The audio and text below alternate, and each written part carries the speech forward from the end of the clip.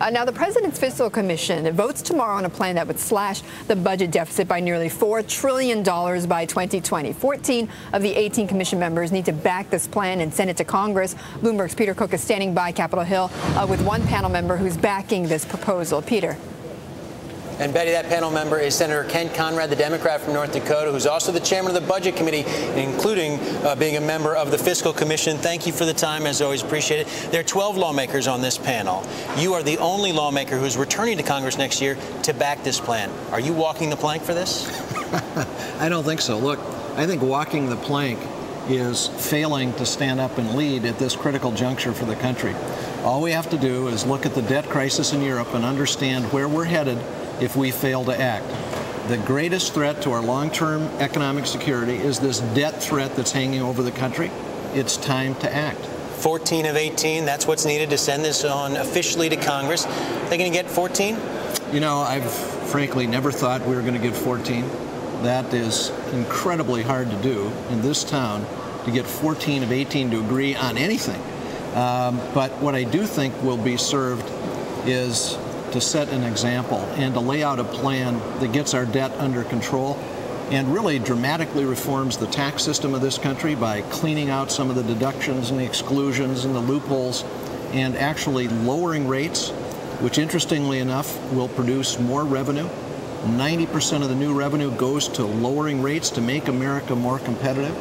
And of course, we make Social Security solvent over the next 75 years and really get America back on track. It's critically important that we do this plan or one like it. So the vote on Friday doesn't necessarily matter? This plan has already had its impact? Well, I think this plan is having an enormous impact. It has changed the discussion in the country, changed the discussion on Capitol Hill.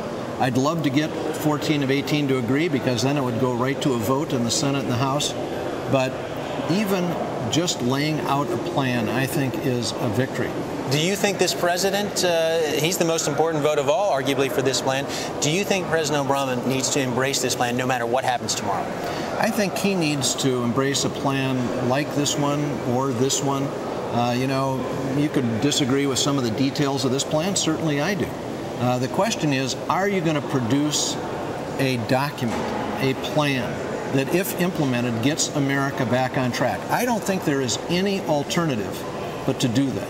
There's a lot of people looking at the situation in Ireland, looking at the situation in Europe with so many of the, the, countries there dealing with their sovereign debt issues. Is America really that close? I mean, there are people who look at the market situation now saying, listen, there's a serious situation out there, but Kent Conrad others, they're being alarmist. uh, I'll tell you, the best experts that came before this commission uh, have done a 200-year analysis of fiscal crises in countries around the world what they found is the tipping point is when your gross debt is 90% of your gross domestic product.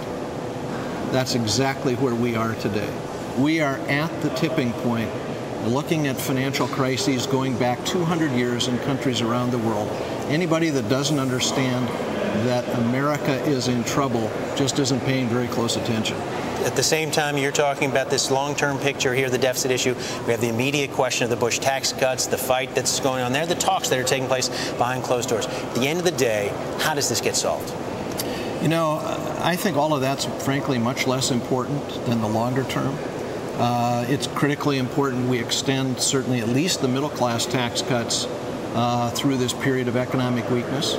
And this plan contemplates that but it also understands you then have to pivot and deal with the long term. The long term is what really ought to concern, concern us and consume our debate. You can live with a two-year extension temporary for everyone? Yeah, I can if it is tied to fundamental tax reform and if it is tied to a plan to cut spending, uh, to reform the entitlements and get us back on track. Kent Conrad, as always, we appreciate it. Betty, we'll send it back to you in New York.